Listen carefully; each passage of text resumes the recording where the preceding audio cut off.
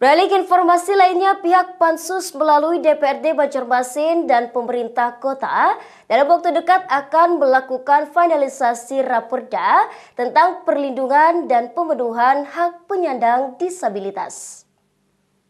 Pembahasan raperda perlindungan dan pemenuhan hak penyandang disabilitas sudah mencapai 70 persen dan segera difinalisasi Hal ini seperti ditegaskan Ketua Pansus Raperda Nur Latifah yang menyebut produk hukum tersebut merupakan usulan dalam prolegda yang dibahas sejak tahun 2021.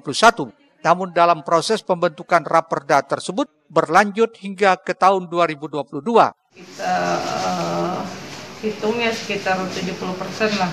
Jadi tinggal ada beberapa dinas lagi memang yang belum uh, bisa dihadirkan dan kemungkinan dalam waktu dekat ya kita jadwalkan besok sih untuk mengundang kembali dan setelah itu nanti akan pada tahap finalisasi ketika seluruh dinas atau SKPD sudah bisa menyampaikan eh, masukan-masukan uh, dalam hal pengembangan pembahasan dalam raperda ini.